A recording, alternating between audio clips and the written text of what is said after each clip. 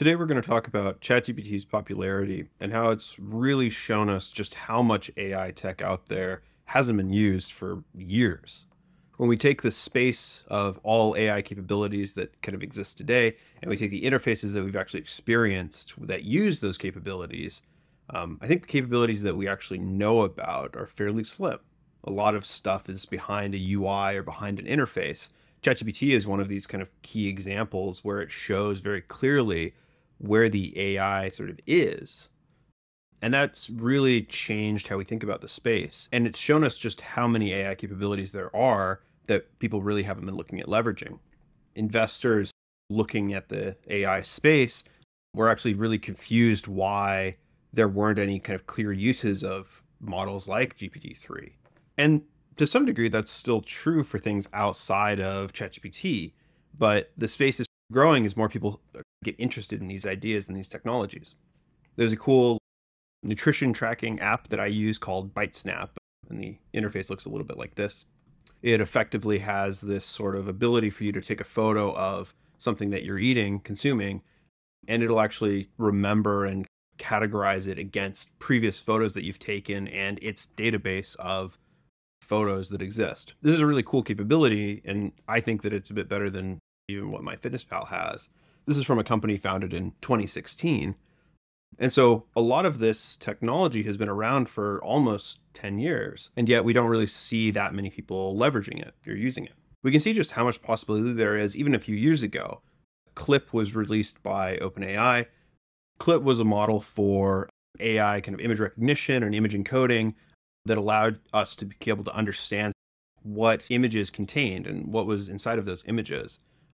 Google and a lot of these other companies were releasing papers like this for years, but it's really impressive just how available this kind of techniques are and how powerful they are and how accurate they can be. Using this technology, anyone can reproduce that diadap. Now you could produce kind of something like this and actually even enhance it further now that we have like these AI assistants or this ability to understand natural language so well, we could also see this as a way to create an even better experience. Furthermore, like these sentence embeddings that we're looking at, they've been around for years.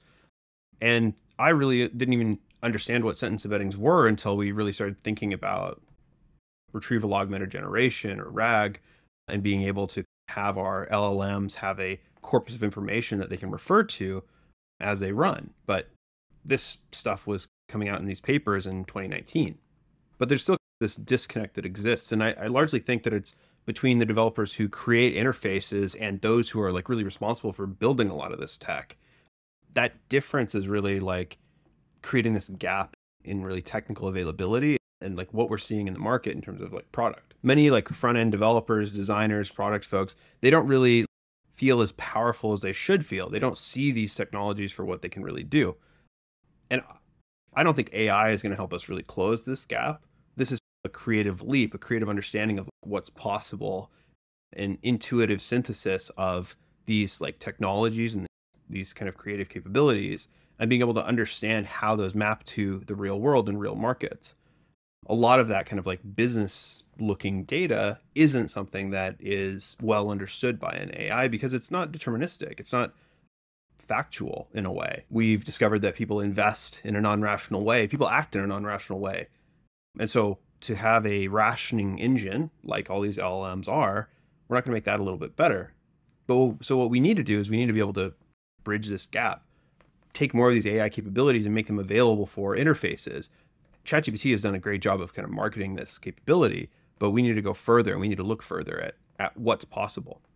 And there's a lot of great tools for this. I think Mercury is a really exciting, awesome tool. Effectively, like you can take your like Jupyter notebooks, these kind of heavy data set pieces, and actually hook them up to user interfaces so that people can actually explore and iterate with these tools. And that'll make these technologies so much more available and so much easier to understand and interact with. Once front end teams can actually leverage these tools so that they can see what things are capable of, it'll be incredible for innovation in the space. I think you can really look to what uh, Amelia Wattenberger is doing, like the things that she thinks about and the way that she talks about embeddings and a lot of other kind of like AI tools is really like this fresh take. And there's a lot of kind of designers and UI kind of specialists thinking in this space where they could think about, okay, what would it mean if we could visualize a lot of what these embeddings could tell us about things? We can create an understanding of what is a concrete versus an abstract thought. Uh, and then we can do a visual mapping of it over text. While this is totally possible from a backend perspective, the visualization of it and the way that a user can actually interface with it, that has innovative properties that unless somebody who is like front end focused understands what's possible, you really can't do. So I think over time, a lot of kind of our work is going to be bridging this gap, bridging this space, and trying to help people understand how these AI capabilities are possible and like what interfaces are possible using these tools, encouraging developers, designers, product managers to be able to incorporate these into their thinking about how we build products because products are going to change really dramatically and we've got to figure out how to be ready for it. ChatGPT was just the beginning and there's already a bunch of capabilities here today that we can leverage that would make our applications incredible. If you found this interesting and you want to learn more, uh, you can follow us on Stable Discussion. Uh, we post our thoughts there as well as our podcast where we discuss the current happenings in AI. We're look forward to around the end of the year. We're going to do a prediction for what's coming next year. Keep an eye out for that. Thanks so much.